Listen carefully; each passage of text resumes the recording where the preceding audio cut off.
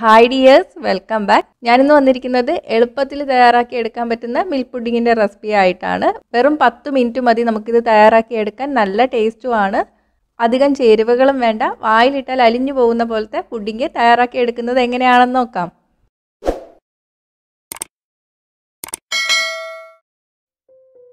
ആദ്യം ഒരു പാൻ ചൂടാക്കി എടുക്കുക. ചുവട് കെട്ടിയുള്ള പാൻ എടുക്കണേ. ഇനി ഇതിലോട്ട് കാൽ കപ്പ് ബട്ടർ ചേർത്ത് കൊടുക്കുക. ഉപ്പില്ലാത്ത ബട്ടറാണ് എടുത്തിരിക്കുന്നത്. ഞാൻ എടുത്തിരിക്കുന്ന കപ്പ് ഇരുന്നൂറ്റി നാൽപ്പത് എം എല്ലിന്റെ ആണ് നിങ്ങൾ ഏത് കപ്പിലാണോ അളന്നെടുക്കുന്നത് ആ കപ്പിൽ തന്നെ എല്ലാം അളന്നെടുത്താൽ മതി. തീ ഞാനിപ്പോൾ സിമ്മിന്റെയും മീഡിയത്തിന്റെയും ഇടയ്ക്കാണ് വെച്ചിരിക്കുന്നത്. തീ കൂട്ടിയിടരുത്. തീ കൂട്ടിയിട്ടാൽ ബട്ടർ വേഗം കരിഞ്ഞു പോവും. ഇനി ബട്ടർ ഒന്ന് അലിഞ്ഞു വരണം. ബട്ടർ അലിഞ്ഞു വന്നിട്ടുണ്ട്. ഇതിലോട്ട് നമുക്ക് അര കപ്പ് മൈദമാവ് ചേർത്ത് കൊടുക്കാം. തീ സിമ്മിന്റെ മീഡിയത്തിന്റെ ഇടയ്ക്ക് തന്നെയാണ് കിടക്കുന്നത്. തീ കൂട്ടിയിടരുത്. മൂന്ന് മിനിറ്റ് നന്നായിട്ടൊന്ന് ഇളക്കി കൊടുക്കാം. ബട്ടറിൽ കിടന്നിട്ട് മൈദയുടെ പച്ചമണമൊക്കെ മാറി കിട്ടണം. ഇങ്ങനെ ചെയ്താൽ മാത്രമേ പുഡിങ്ങിന് നല്ല ടേസ്റ്റ് ഉണ്ടാവുള്ളൂ. ഇല്ലെങ്കിൽ മൈദയുടെ ഒരു പച്ച ടേസ്റ്റ് കാണും പുഡിങ്ങിന്. ഇപ്പോൾ മൂന്ന് മിനിറ്റ് കഴിഞ്ഞിട്ടുണ്ട്. ഇനി നമുക്ക് ഇതിലോട്ട് രണ്ടര കപ്പ് പാൽ ചേർത്ത് കൊടുക്കണം. വെള്ളം ചേർക്കാത്ത പാലാണ്.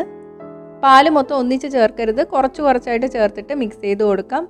ഒട്ടും കട്ടയില്ലാതെ മൈദ പാലിൽ കലക്കിയെടുക്കണം. ഇപ്പം മൊത്തം പാലും ചേർത്തിട്ടുണ്ട്.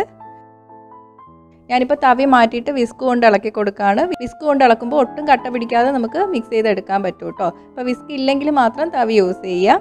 തീ ഇനി നമുക്ക് മീഡിയത്തിലോട്ടാക്കി കൊടുക്കാം. നന്നായിട്ട് ഇളക്കി കൊടുക്കണം. ഒട്ടും അടുക്കി പിടിക്കരുത്. ഇനി ഇതിലോട്ട് നമുക്ക് അര കപ്പ് പഞ്ചസാര കൂടി ചേർത്ത് കൊടുക്കാം.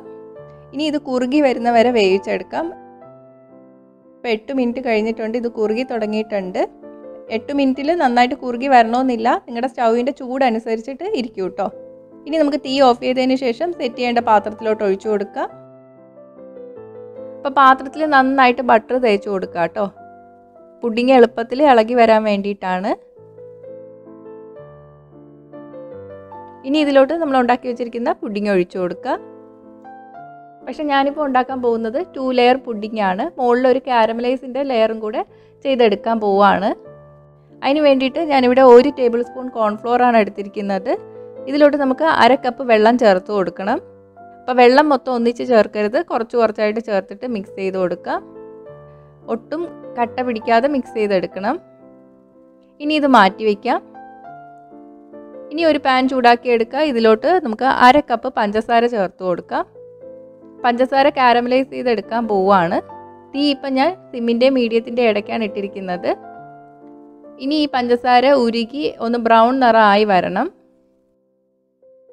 അപ്പോൾ ഇത്രയും കളർ മതി. നിങ്ങൾക്ക് വേണമെങ്കിൽ കുറച്ചും കൂടെ ഒന്ന് ബ്രൗൺ നിറം ആക്കി എടുക്കാം. പക്ഷെ ബ്രൗൺ നിറം കൂടും തോറും പഞ്ചസാരയുടെ കയ്പ് ടേസ്റ്റ് കൂടും.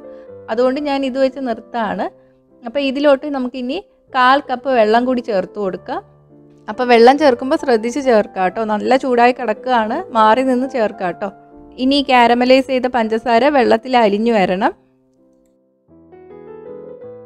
ഇപ്പോൾ ഇതാ പഞ്ചസാര വെള്ളത്തിൽ അലിഞ്ഞു വന്നിട്ടുണ്ട്. ഇനി നമുക്ക് ഇതിലോട്ട് കലക്കി വെച്ചിരിക്കുന്ന കോൺഫ്ലോർ ചേർത്ത് കൊടുക്കാം. നമ്മൾ കുറച്ച് മുന്നേ ആണ് കോൺഫ്ലോർ കലക്കി വെച്ചിരിക്കുന്നത്. ഇതിലോട്ട് ചേർക്കുമ്പോൾ ഒന്ന് മിക്സ് ചെയ്ത് എടുത്തിട്ട് വേണം ചേർത്ത് കൊടുക്കാൻ. ഇനി ഇതൊന്ന് കുറുകി വരണം. തീ ഇപ്പം മീഡിയത്തിലാണ് ഇട്ടിരിക്കുന്നത്. ഇപ്പോൾ കുറുകി തുടങ്ങിയിട്ടുണ്ട്. ഇനി നമുക്ക് തീ ഓഫ് ചെയ്യാം. ഇനി ഇത് രണ്ട് മിനിറ്റ് ഈ പാത്രത്തിൽ തന്നെ ഇരിക്കട്ടെ. കുറച്ചൊന്ന് തണുത്തതിന് ശേഷം മാത്രം പുഡിങ്ങിന്റെ പുറത്തോട്ട് ഒഴിച്ചു കൊടുക്കാം കേട്ടോ. നല്ല ചൂടോടെ എടുത്ത് ഒഴിക്കരുത്. ഇപ്പോൾ രണ്ട് മിനിറ്റ് കഴിഞ്ഞിട്ടുണ്ട്. പുഡിങ്ങിന്റെ പുറത്തോട്ട് ഒഴിച്ചു കൊടുക്കുക ഒന്ന് നിരപ്പാക്കി കൊടുക്കുക ഗാർണിഷ് ചെയ്യാൻ വേണ്ടിയിട്ട് ഇതിന്റെ പുറത്തോട്ട് കുറച്ച് അണ്ടിപ്പരിപ്പ് ചെറുതായിട്ട് അരിഞ്ഞതും കൂടി ഇട്ട് കൊടുക്കുകയാണ് ഇത് ഓപ്ഷണലാണ് വേണമെങ്കിൽ മാത്രം ചെയ്താൽ മതി. പക്ഷെ പുഡിങ് കഴിക്കുമ്പോൾ ഇടയ്ക്കിടയ്ക്ക് അണ്ടിപ്പരിപ്പ് ചെറുതായിട്ട് കടിക്കാൻ കിട്ടുന്നത് നല്ല ടേസ്റ്റാണ് ഇതിന്റെ ചൂട് നന്നായിട്ട് മാറി കിട്ടണം. ഒരു മണിക്കൂർ മുതൽ രണ്ട് മണിക്കൂർ വരെ എടുക്കും കേട്ടോ ചൂട് മാറി കിട്ടാൻ വേണ്ടിയിട്ട്. ഇപ്പോൾ ചൂട് മാറിയിട്ടുണ്ട്. ഒന്ന് കട്ട് ചെയ്ത് വയ്ക്കാം അപ്പോൾ നമ്മുടെ പുഡിങ് റെഡി ആയിട്ടുണ്ട്. നിങ്ങൾക്ക് വേണമെങ്കിൽ ഇത് ഇനി ഫ്രിഡ്ജിലോട്ട് വയ്ക്കാം ഫ്രിഡ്ജിൽ വെച്ചിട്ട് തണുപ്പിച്ചും കഴിക്കാം. അല്ലാതെ കഴിക്കാനും നല്ല ടേസ്റ്റാണ് നമ്മളിതിൽ വാനില എസൻസ് ഒന്നും ചേർത്തിട്ടില്ല. അപ്പോൾ അതിന് ടേസ്റ്റ് ഇല്ല എന്ന് വിചാരിക്കേണ്ട. നല്ല ടേസ്റ്റാണ് നിങ്ങളിത് ഒരിക്കൽ ഉണ്ടാക്കിയാൽ വീണ്ടും വീണ്ടും ഉണ്ടാക്കും കേട്ടോ എന്തെങ്കിലും പാർട്ടിയോ ഫംഗ്ഷനോ ഒക്കെ വീട്ടിലുണ്ടെങ്കിൽ എളുപ്പത്തിൽ തയ്യാറാക്കാൻ പറ്റിയ പുഡിങ്ങാണിത്. അപ്പോൾ ഒന്ന് ട്രൈ ചെയ്ത് നോക്കുക. ട്രൈ ചെയ്ത് നോക്കിയിട്ട് നിങ്ങളുടെ അഭിപ്രായങ്ങൾ കമന്റ് ചെയ്യുക. ഇഷ്ടമായെങ്കിൽ ലൈക്കും ഷെയറും ചെയ്യുക. കൂടുതൽ വീഡിയോസിനായിട്ട് ചാനൽ ഇതുവരെ സബ്സ്ക്രൈബ് ചെയ്തിട്ടില്ലെങ്കിൽ സബ്സ്ക്രൈബ് ചെയ്യാനും മറക്കല്ലേ. അപ്പോൾ അടുത്തൊരു വീഡിയോ ആയിട്ട് കാണാം. ബൈ.